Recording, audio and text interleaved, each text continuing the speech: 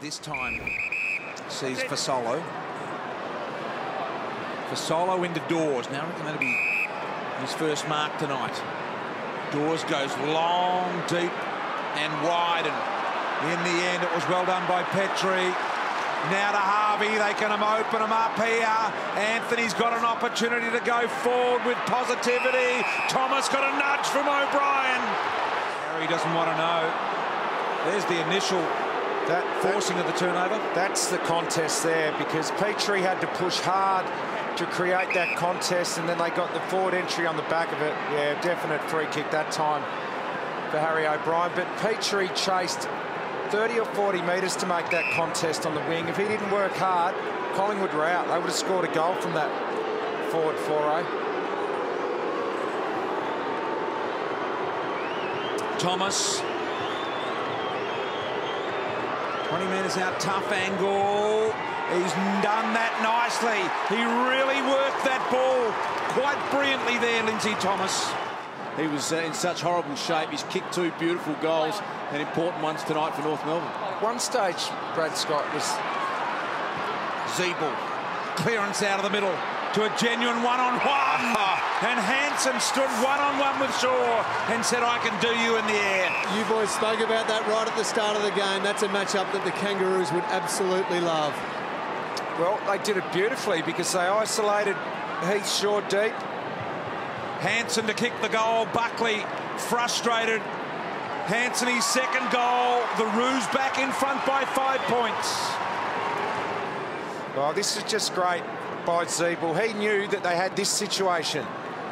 A huge height advantage in the goal square.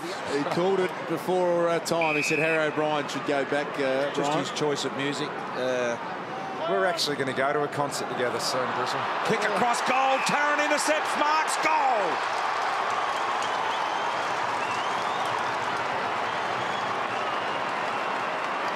Oh, great play. Robbie Tarrant anticipated that dangerous kick across goal and they're into Wellingham. Look at Boomer Harvey. He's letting him know. There's Heath Shaw. He's got a message from the runner. The change may be coming there. But that's just a turnover goal.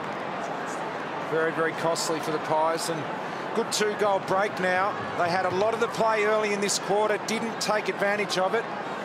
And North got a two-goal lead. Here's the kick from Wellingham across the goal. Tarrant marks it. And that is a gift for North Melbourne. They've really got their mojo up and about the Kangaroos. And Boomer Harvey went straight over to Wellingham. Shaw creates a path through traffic. It's a lucky kick The Seedsman. Had to go. Bastinac put him under all sorts of pressure. So did Gibson. Tidy up. Comes back. Opportunity for the Roos to go forward again. Magnificent stuff. Campbell did a great job.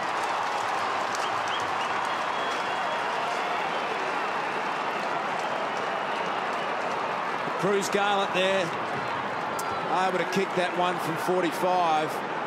And it was a brilliant build-up there for North Melbourne.